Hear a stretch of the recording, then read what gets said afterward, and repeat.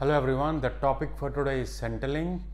Um, what is their role in, in um, what is their basic role in financial matter? Financial matter means in paying and receiving money.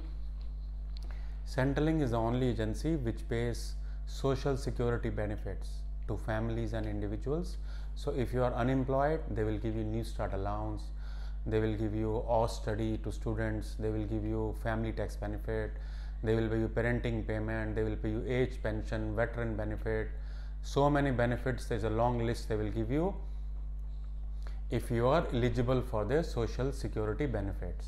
Number one, now they, they also collect payment, the payment which they have paid you, they can collect it. They can collect it if they have overpaid you. Now the point is how can they collect the payment? They can reduce your future repayments. They can they can say okay you were receiving more you have a debt now so we were, we will be reducing your future repayments because you already received too much. They can also send you a debt letter. They can send you a letter this is what you owe you need to pay us and so that we can settle the account. They can issue you a letter for that. This is the amount owing. The main important thing is like the main issue is how do they collect? They collect from your tax refund so whenever your tax return goes for processing, if you are registered with Centrelink, then it goes to Centrelink also.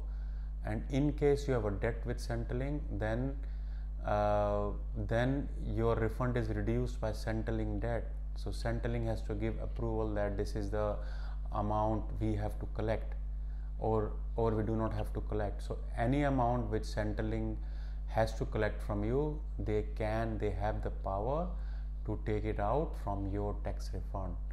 The only way, if you want that they should not take out your money from your tax refund, you have to call Centrelink and call tax office and you have to explain your situation.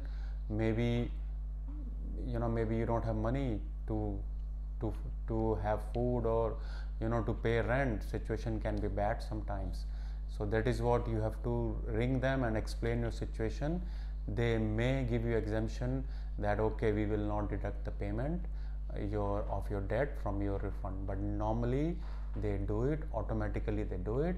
If you have any debt uh, with Centrelink your refund will be reduced. Okay thanks for watching. See you next time